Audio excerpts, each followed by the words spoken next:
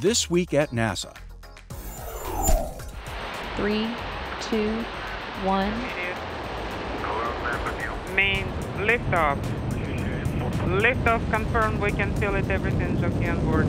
The Russian Soyuz spacecraft carrying Expedition 31 Soyuz commander Gennady Padalka, NASA flight engineer Joe Acaba, and flight engineer Sergei Revin is shown launching from the Baikonur Cosmodrome in Kazakhstan to the International Space Station. It happens very smoothly and we feel good. There, Padalka, Acaba, and Revin are joining up with their Expedition 31 crewmates already on board the ISS Commander Oleg Kononenko, NASA flight engineer Don Pettit, and European Space Agency flight engineer Andre Kuipers. They've been on the outpost since December. SpaceX continues its preparations for the launch of Falcon 9 at Florida's Cape Canaveral Air Force Station. The Falcon 9 rocket will send aloft the unmanned Dragon spacecraft to the International Space Station, where it will be grappled remotely by the Expedition 31 crew. The SpaceX mission, now scheduled to launch on the morning of May 19th, will be the first commercial venture to the ISS. Administrator Charlie Bolden headed a delegation of senior NASA leadership that met with Japanese Prime Minister Yoshihiko Noda to discuss international cooperation in space. Presented by Bolden with a montage of mementos flown on STS 135, the final space shuttle mission, Prime Minister Noda said he wants to excite young people about careers exploring space, noting his envy of the five meeting attendees who'd actually done that which is, is also telling us something fundamental. The first global analysis by the Dawn spacecraft of Vesta has uncovered some interesting new findings about the giant asteroid. We now know that Vesta is the only intact, layered planetary building block surviving from the very earliest days of the solar system. Vesta exhibits many characteristics that define it more as a, a, a body that is transitional between asteroids and planets than um, being more like your garden variety asteroid. Vesta is special because it survived the intense collisional environment of the main asteroid belt for billions of years, allowing us to interrogate a key witness to the events at the very beginning of the solar system. Dawn has also confirmed that a certain class of meteorites found here on Earth originally came from Vesta, making Dawn the first reverse sample return mission in space exploration history. NASA's Solar Dynamics Observatory captured these photos of a powerfully active region of the Sun called 1476 that's more than 60,000 miles across. This so called monster sunspot has released multiple large flares. Sunspots occur where the magnetic field lines emerge from the inside of the Sun to form expanding loops above its surface. They appear dark because temperatures are considerably lower than in surrounding areas. SDO is the first launch mission in NASA's Living with a Star program, designed to understand the causes of solar variability and its impacts on Earth. Say about the innovative process and, and government's role in it. That's a great way to frame the problem because I think that's exactly the question. NASA Chief Technologist Mason Peck offered his take on the role of research and development in revitalizing the nation's economic future in a special innovation summit held at Washington's Reagan National Airport. Sponsored by the Atlantic Monthly magazine, Peck's panel discussed how investment in American R&D and manufacturing benefits our economy. When you pose difficult problems, such as sending humans to Mars, which is on NASA's plate right now, when you pose those kinds of problems and you put uh, American industry to work and academia to work on those problems, you get innovation. Researchers with the Mars Science Laboratory project at the Jet Propulsion Laboratory recently took science journalists on a two day field trip and workshop to California's Mojave Desert. Oh, it's beautiful. Isn't it great? The journalists were shown sedimentary rock exposures that, like those the Curiosity rover will study on Mars, reveal to scientists the history of their environment. The hard part is how to extract the information from the rocks. So that's what everybody's learning to do here is how to make measurements. We measure the thickness of the beds. We measure their grain size. We look at their mineralogy as best as we can understand it. And we record all of this information. And then from that, it will eventually allow us to reconstruct what kind of environment was here. Liftoff of the Atlas V with Curiosity, seeking clues to the planetary puzzle about life on Mars. The MSL spacecraft carrying Curiosity was launched November 26, 2011, and is scheduled for an August landing on Mars at a site known as Gale Crater. A full-scale test version of NASA's Orion spacecraft has arrived at the Virginia Air and Space Center in Hampton, where it'll be on display through the summer. The 18,000-pound test vehicle built at the nearby Langley Research Center was used in the successful pad abort test of Orion's launch abort system in May 2010. NASA's first spacebound Orion capsule will undergo an uncrewed exploration flight test 1 planned for 2014. EFT 1 will see Orion travel farther into space than any human rated spacecraft has gone in more than 40 years. Recently, a team of scientists and volunteers from NASA Ames Research Center searched for debris left in the wake of a large meteor that plummeted into Northern California on April 22, 2012. To expedite their search, researchers enlisted the services of an airship called Eureka for an airborne survey of the debris field. During a five-hour flight, they searched a 300 square mile area they used a sophisticated video camera system that is commonly used to cover sporting events. Researchers were also conducting ground surveys to look for fragments.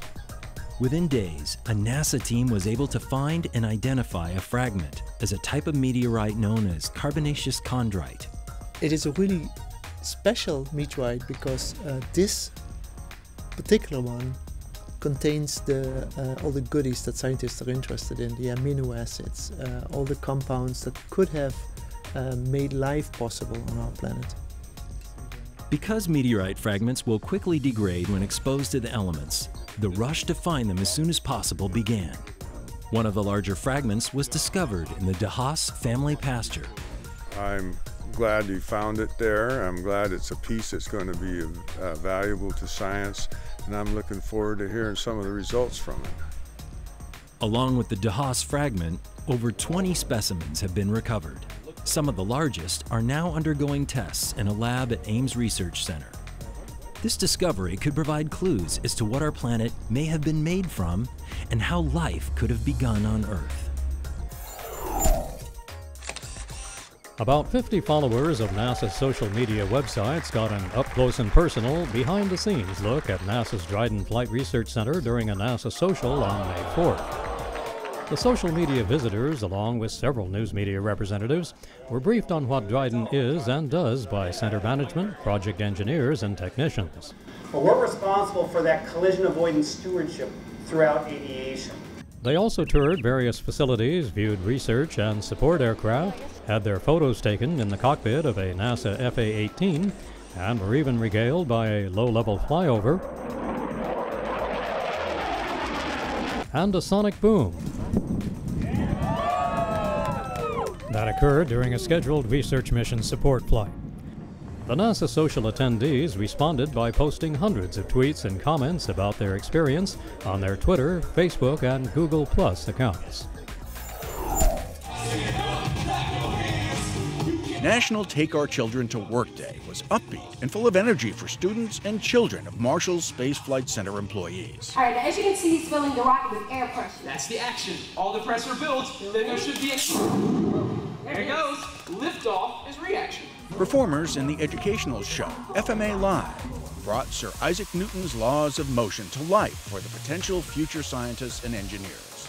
FMA Live, created by NASA and Honeywell International, is an award winning traveling hip hop science program designed to inspire elementary and middle school students to pursue studies in science, technology, engineering, and math by using interactive demonstrations in an entertaining way.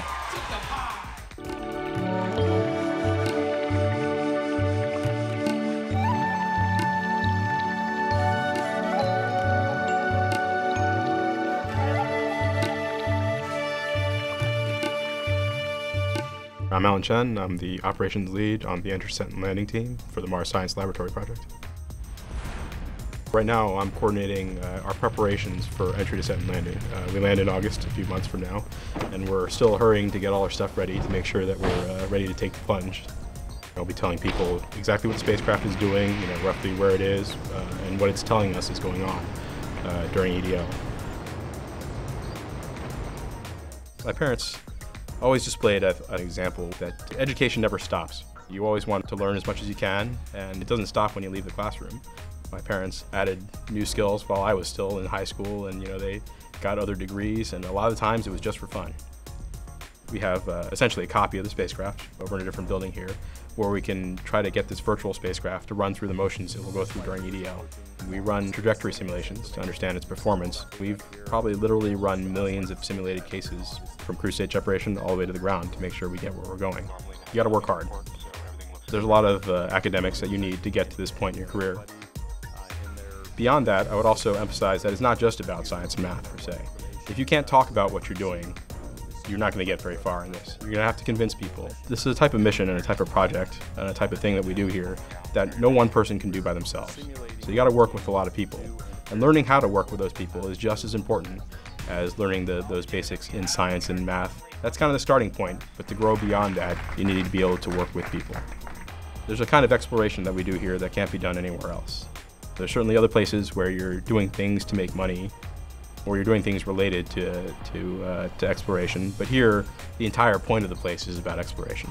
So I think I finally came to that realization sometime in uh, late high school or early college that this is the type of place I want to be at. Three, two, one. We have booster ignition and liftoff of the Space Shuttle Atlantis, maintaining America's constant presence in space. 15 years ago, on May 15, 1997, Space Shuttle Atlantis launched from the Kennedy Space Center on STS-84. The mission was the sixth shuttle docking to the Russian Mir space station, exchanging astronaut Mike Foale for U.S. crew member Jerry Linenger, who'd spent 123 days there. Rounding out the Atlantis crew were Commander Charlie Precourt, a 2012 inductee into the U.S. Astronaut Hall of Fame, pilot Eileen Collins, and mission specialists Carlos Noriega, Ed Lu, Jean Francois Clervoy of the European Space Agency, and Elena Kondakova of Russia. Go from to start. And May 16th marks the one year anniversary of the launch of STS 134. Zero and liftoff for the final launch of Endeavour. NASA's youngest shuttle lifted off from the Kennedy Space Center at 8:56 a.m. Eastern Daylight Time to the International Space Station. Carrying with it the six-person crew of Commander Mark Kelly, pilot Greg Johnson, and mission specialists Mike Fincke, Drew Feustel, Greg Chamitoff, and Roberto Vittori of the European Space Agency. The 16 day mission delivered the Alpha Magnetic Spectrometer, the Express Logistics Carrier 3, a high pressure gas tank, and spare parts for other station hardware. STS 134 was the 36th and next to last shuttle mission to the International Space Station. And that's This Week at NASA. For more on these and other stories, or to follow us on Facebook, Twitter, and other social media, log on to www.nasa.gov.